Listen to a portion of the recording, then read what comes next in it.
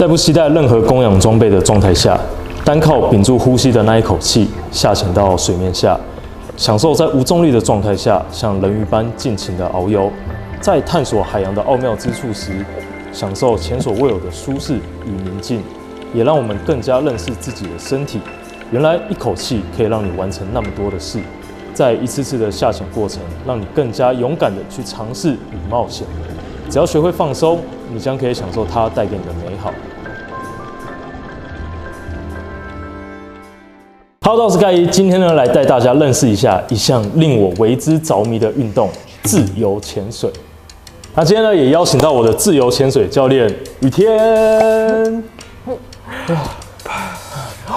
回复呼吸，I'm OK。，Good，哇！你好你好，雨天，你是从绿岛游过来是不是？没有从小琉球游回来，绿岛冬天太冷了，，对，冬天太冷，小琉球比较适合。哎，一年四季都可以下潜。没错，哇，水星侠二你没有演，我不看。今天呢，请到我的自由潜水教练雨天。那我是在去年，就是二零二一年的十一月，同时花了一个礼拜去考了水费，嗯跟自潜两张证照。嗯那我发现其实这两个项目真的非常不一样。怎么说？水费有点像我在考机车驾照，我只要把这台机车摸熟，把这张驾照拿到，我可以很好的操作这台机车从 A 到 B 就 OK 了。自潜对我来说就有点像是马拉松，它有点像是靠着自己的身体，然后从一个地方到另外一个地方，你要很了解你自己的身体状况，跟你会遇到的一些困难。老师，你觉得盖伊形容的贴切不贴切？嗯，我觉得他形容蛮蛮符合，就是我我自己想的感觉，因为我也是觉得考水费的感觉有点像是你去上完，然后你学会如何操作这个装备，就像他刚刚讲，像考驾照啊，学会你就会开车，但是后续的练习就是你要看你自己。那自由潜水的部分，我觉得比较像是运动的方面，是要花很多时间去练习的。水肺比较偏向休闲的地方，我觉得自由潜水它比较偏向运动，是因为它是需要靠自己的身体去运作，就会去了解自己的身体，就比较不是靠装备，所以我觉得它对于贴近大海的感觉会更接近，就是用最原始的方法去下潜。那想问一下雨天教练，怎么样分辨自潜跟水肺？他们两个其实最主要的差异在哪里？水肺潜水就是普遍认知的潜水，背着气瓶还有装备就是潜下去，在过程当中我是可以呼吸的，但待的时间就会比较久。像你一支气瓶 OK 的话，就可以大概待一个小时左右，如果状况好的话。那自由潜水的话，就真的是因人而异，因为它是一项运动，在水下没有做任何的呼吸，它就靠那口气，然后快速的下潜到极限，然后再回来这样。那李正老师，你一口气可以下潜多久？诶、我目前是下潜到四十几米啊，对，这样大概40是几米多长的时间呢？如果是好的状态下，是一分二十秒就会回来。对，但因为是动态的，所以会比较吃力一点点，觉得其实花蛮蛮多力气。对啊，你不要想说，哎、一分四十秒，反正我就下去上来，我憋气可以憋个两分钟，我就有办法四十米这样来回。但其实它有很多很困难的地方要注意。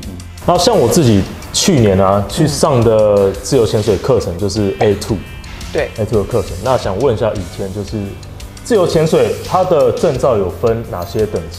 以我目前来说的话，因为我是爱达的系统的教练，自由潜水有分很多系统，那每个系统其实就是分类的等级都会不一样。那爱达的话，它是分成一二三四，该一上的爱达 Two 就是算是比较初阶的课程，爱达 One 很多人就会很好奇，想说初阶的课程，对，是初阶的，是是是。对，因为很多人会想说，哎、为什么别的系统可能都是从 Level One、Level Two 开始，为什么 IDA 是直接从二开始？那其实 IDA One 的话，它分类是归类在体验的部分，比较适合一些可能他不确定他自己喜不喜欢自由潜水，或是他不知道自己会不会害怕这件事情的人去体验看看。IDA Two 的话，就是课程会比较完整，那会学到一些知识学科，然后还有泳池，就是平静水域，然后还有开放水域，就是大海的部分。对，在网上的话，三跟四其实就是比较偏向进阶的，就是大家对自由潜水是真的有兴趣的，就想要再往更深的地方走。我觉得就是会建议就是考 A 三、A 四，再继续往上走这样。所以其实它就分成 A one、A two、A 三、A 四，再上去是教练，教练，然后就是你练。现在的位置。对，那教练上面是什么？就是教练长，就是教练长，教练的教练，那还还有再上去吗？还有最强的那个。教练的教练的教练，教练训练官，教练训练官，对，就是专门。训练教练，就对教练的教练，对教练的哇教练。那很强哎。因为我考的是 A two 嘛，那嗯。我在考 A two 的时候，其实它有一些门槛。过客的最低条件，因为过不过客还是要看教练他觉得你 O 不 OK 嘛。对但基本上你有一些最低条件是要通过的吧？他给你个标准，就是你可能闭气要多久的时间，像两分钟，A A A two 的标准就是两分钟两。分钟就是你要在水里面憋气两然后两分钟对，就是。可能一个一般人听到会觉得哇好像很困难，但其实就是在上课过程当中，就会慢慢引导你去达到这个标准，就是让你是舒服的去通过过客的标准，而不是很勉强自己去达到这件事情。所以我觉得，呃，自由潜水其实做起来没有想象中的那么难。像我就很爱盯的人，嗯我就一定会逼到，那然后被拉起来的那一种。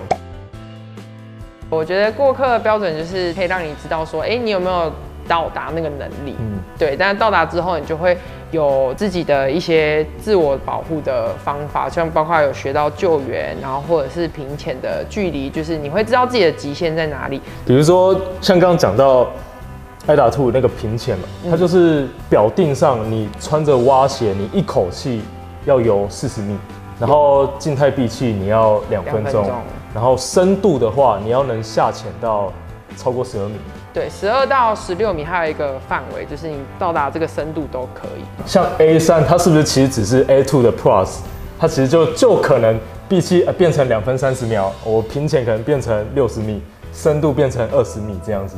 对，就是它其实，哦，其实这其实是这样，对，它是慢慢让 其你实就是进步。这真的是 A two Plus，对 A two Plus，然后这其实就是 A 三的。A A two Pro 这样。然后 A two Pro Max 这样。那个时候我下下海，大约那个大概是呃下海，哇，我我下海，我在我那我在绿岛第一次下海，对。对我下海。那时候下大概十二米，十一十二米吧，那时候我就用着配重腰带，然后我就感受到我在海里面的那个中性浮力，哦，那个十十十一十二米就感觉到了。无重力的状态，因为有配重腰带所以那个时候我都不用动，我就是停在一个地方，我就可以定着，就完全是一个无重力状态，然后想去哪就去哪。在海里，就是你会多一个维度的空间可以活动，我们就会变得跟鸟一样，所以就是在海里的感觉会很不一样。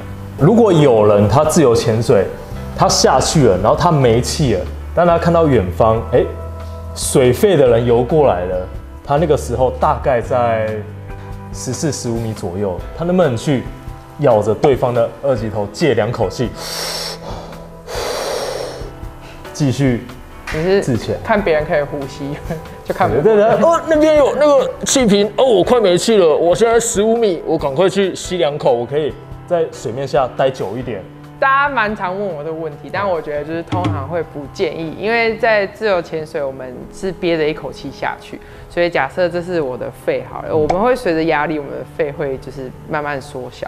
但这个时候，如果你接受外来的空气，像是水肺的气瓶的空气，你一吸，它就会你的肺又膨胀，但这时候你又回到水面，它就会膨胀更大，所以这时候你的肺有可能就会受受所以就是不建议大家这样做。就是这样。但如果紧急状况，就是你可能真的被卡在小波块里面之类的，嗯就是还是建议。但是吸了之后，你就变成水肺潜水员，所以你就要跟他做完所有水肺的安全停留的过程。啊，这个安全停留这件事情又是一个数学要哦要算，这个就大家有兴趣再去上课啊，再去上水肺。安全停留啊？安全停留就是你下潜完之后，你要慢慢上升，你不能上升太快。你如果在水面下水费越久，你在那个安全停留区就要停留越久，就是你要在那边换气，多换几次，让那个压力回来，然后你才可以慢慢的上去。但是如果有紧急状况，紧急状况你真的器材都坏掉，你必须强迫出水面，你可以配重要再丢掉，但是可以的话就是手高过头，让你的手先出水面，再上来，会相对安全一点。为什么手先出来会相对安全？哎、为什么呢？哎、我帮你扣号一下河马教练。河马教练，你的水阿费慈阿慈为什么呢？那这边想问一下雨天教练，就是其实自潜他用看的看起来它很简单，我也不用什么装备穿脱，我就是一个人下去。那这样子的话，自潜这堂教练课其实它是必须要上的吗？还是我其实也不用上课，我就跟几个好朋友，有人看到我就好了，我们就一起去海边，一起去自潜。其实我觉得自由潜水这个东西要不要上课，其实我觉得是因人而异。自由潜水它毕竟是一项运动，而且它是去海里，就是我们在从小到大，就是大家灌输给我们观念，就是哦海很危险，你不要靠近，你不要下去。但是其实我觉得这样反而会错过跟海认识的机会，就是我觉得你反而是去尝试，那去试完之后才知道它有它的危险性。那我觉得上课过程当中，其实主要不是学会什么事情，最重要的是安全。就是你知道你在海里遇到什么样的状况，其实会学到一些自我救援的技能，或者是包括是救援别人。一开始我也觉得，嗯啊，自由潜水这种东西，就是去海里玩，为什么还要上课？我上完课才知道，哦，原来以前都在乱乱搞，就是都在危险的边缘。对，哦，都在压线啊，对，就是。差一点就就要去了。我如果想要学自由潜水，有没有什么条件限制？比如说，我可能不会游泳，嗯，我可能有戴隐形眼镜，或是我心血管有一些疾病，哦这种其实它算是蛮亲民的一个运动。国外其实还蛮多人都可能四四五十岁，就是很多像纪录保持，他们可能很晚才开始接触自由潜水，可是就是他们其实还是可以做得很好。隐形眼镜啊，或是心血管疾病那种，就是比较偏向生理的问题，就是我觉得这个要看人。我觉得多去练习这件事情会比较改善一点。会不会游泳跟只有潜水，我其实把它分成两件事情。当然，你会游泳去潜水，其实反而会嗯比较适应，因为你嗯你水性好，水性好对，你会比较不会紧张，也不害怕。那不会游泳，其实也没有说就不能学自由潜水，只是相对来说，你要克服的东西会比别人多。就像你可能要克服在水里紧张的感觉，或者是踩不到地的感觉，甚至你要去海里不能扶任何东西，要靠自己游的那个感觉。主要是看自己愿不愿意踏出那一步去尝试这件事情。不过说起来，这样自由潜水是不是很像不用学换气的游泳？对。哦，气对，很很多人都会问我说就是我教练我不会游泳，就是因为我不会换气，就是大家都会定义会不会游泳就是等于会不会换气，但是哦。自由潜水不用换气，哦，不用换对，气就，完全游泳比较偏向你要可能游快要有速度什么，但是自由潜水它就是你你不需要急，你就是稳稳的然后下潜，然后是很放松的享受在当下的状态。自由潜水它虽然就是被叫运动，就是大家可能会误解，觉得哎、那我是不是比赛前越紧张越好？就是我哦肾肾上腺素，然后心跳快，上场要啊，对，就是要爆发的感觉。但其实自由潜水在比赛之前，或是要下潜之前，你是要让自己更平静的，就是你要完全是你要归习对入定。对。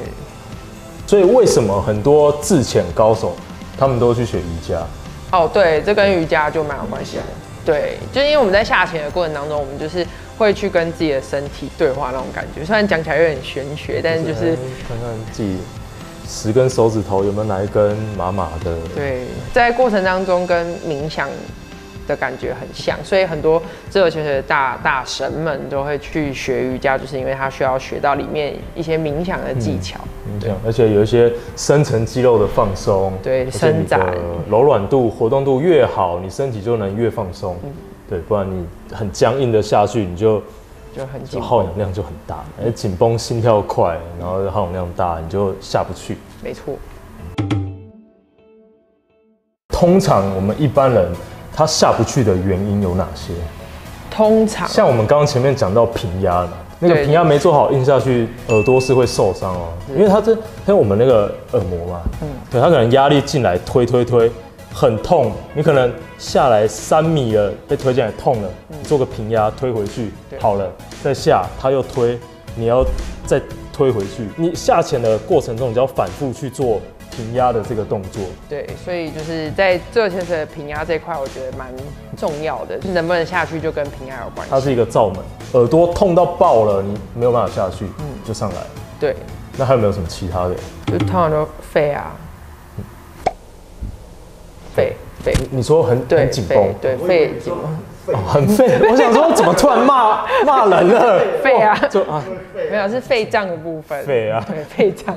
肺脏。没有啊，就是其实我觉得下不去主要分两个，就是刚刚讲到可能耳压平衡没有办法做，所以是生理上的不舒服。那也有另外一个就是心理上，就是可能会像刚刚讲害怕或恐惧，就是会不知道你要去的那个深度，你没有去过，你会怕，就是对于你没有达到的事情，你一定会害怕。这个我觉得是要需要花比较多时间去克服的。那像平压这个东西，其实也要花嗯看人的，就是花也是要花一点时间去练习。平压有分几种方法，那就是首先最简单的就是大家常用的法式，就是水肺也会用的，大家天生就会，就是你捏着你的鼻子，然后用力擤鼻涕，嗯，你就会感觉到，哎、你的耳朵是有有凸出来的那种感觉，就是会听到，对，耳膜鼓鼓的感觉。那自由潜水因为在做这件事情会太用力，所以我们会使用的一个平压方法是法兰兹。那它法兰兹的原理就是是用嘴巴里面的空气去平衡到我们中耳的地方，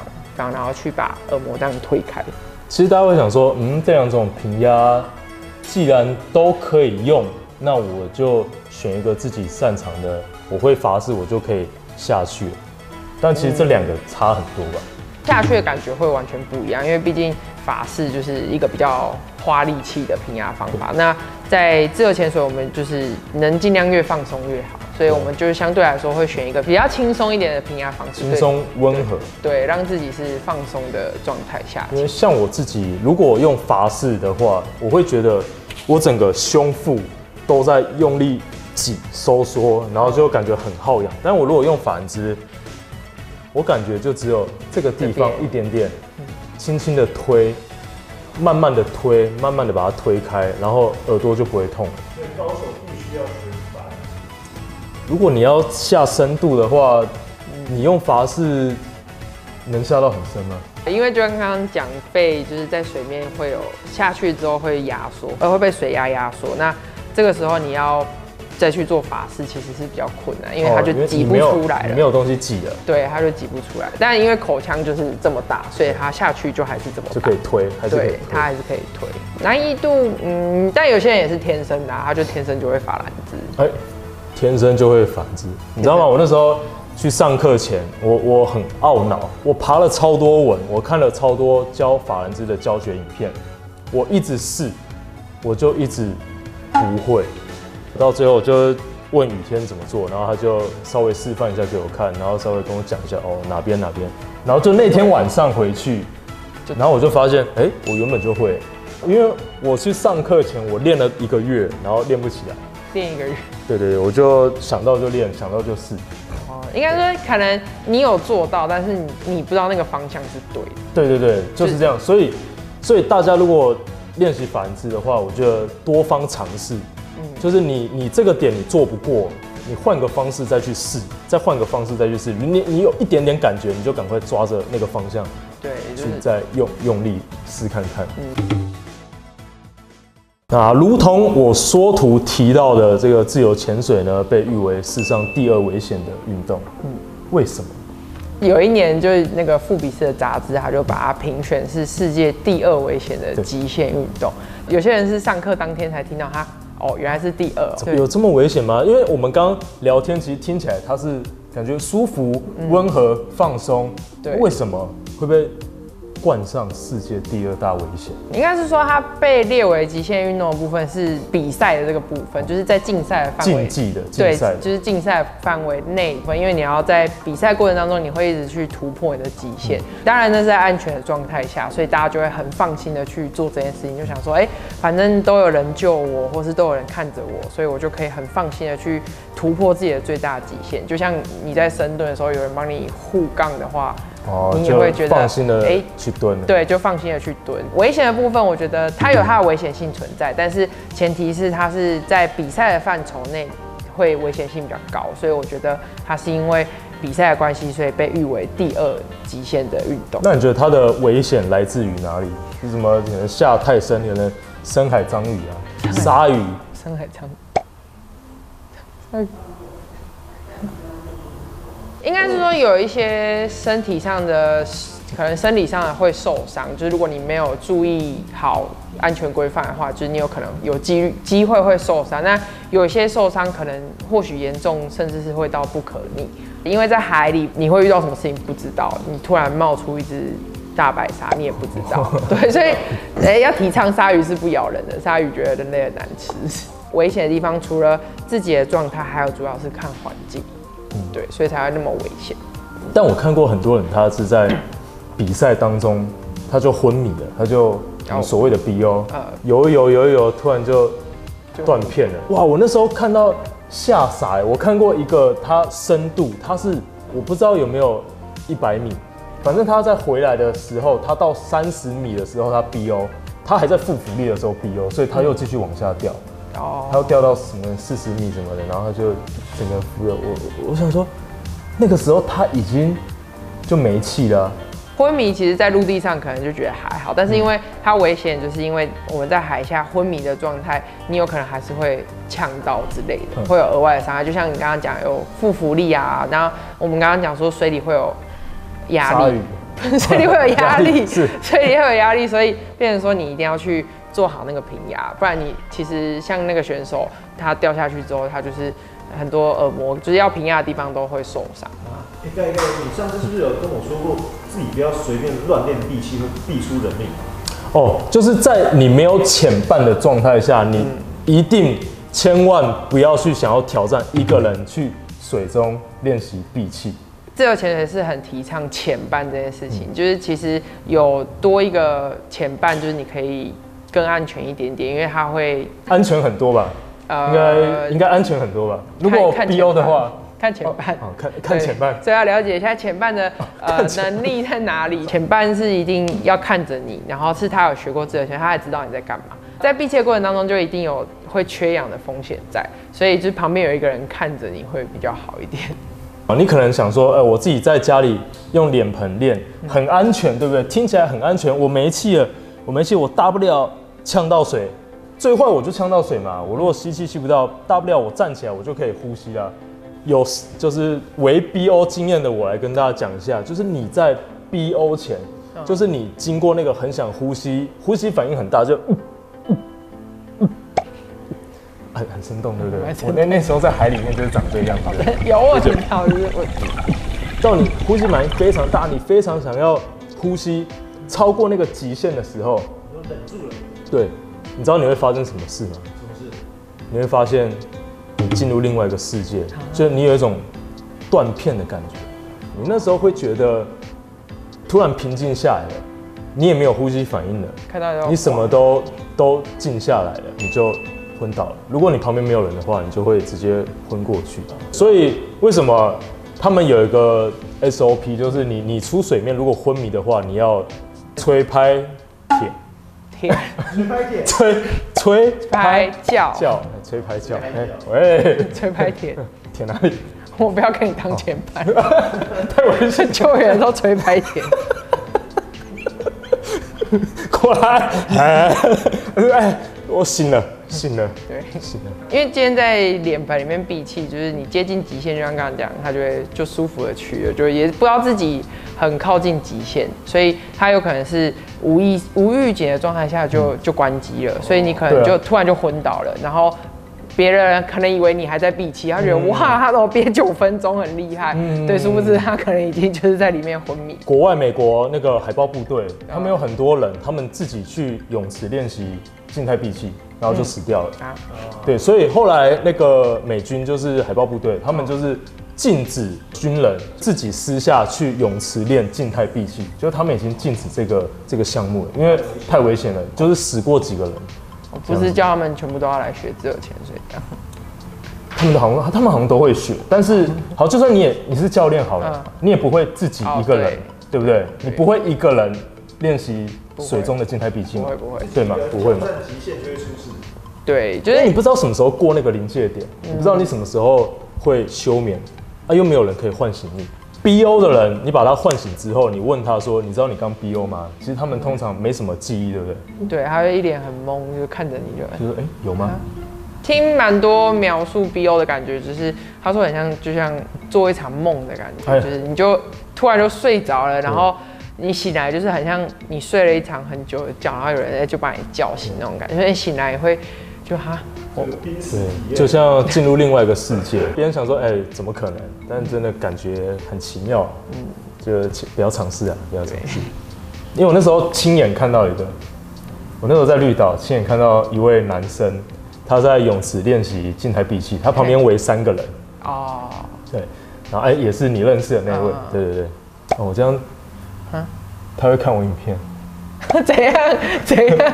你先把。它这一卡传言，因为呢，像我自己就亲眼看过一个男生，他在泳池练习静态闭气，你知道吗？那时候他旁边围三个人哦、三个人在看他，，三个人在看他，然后他，我看他呼吸反应非常大，他在水面上就，然后就狂抖，然后最后吐泡泡的时候被旁边的人扶起来，扶起来的时候，他的眼睛是就有点像这样，他这样，然后就就一直要往后倒，然后他旁边人就一直扶着他，然后就一直拍他，就拍拍吹，然后叫他呼吸，然后他没反应，然后看旁边人拍超大力，然后一直吹，然后呼吸，然后一直拍拍拍拍，然后醒来。他那一段时间大概五六秒吧，嗯，他旁边人就问他说：“你知道你刚 BO 吗？”他他说他不知道，他说他第一句话是说有吗？我我不知道，他很镇定的说我不知道，而且他看起来很正常。BO 这件事情是真的很危险。像我刚刚跟雨天聊那么多，就是自由潜水它的比赛啊跟体验这方面的。那讲到比赛，它有哪几种不同类型的比赛？自由潜水的比赛，它目前是分成两个大方向，就是泳池跟海里的。那泳池就会比刚刚讲的像静态闭气，就是你就是静止不动，然后在水里憋多久，就是看谁憋的比较久。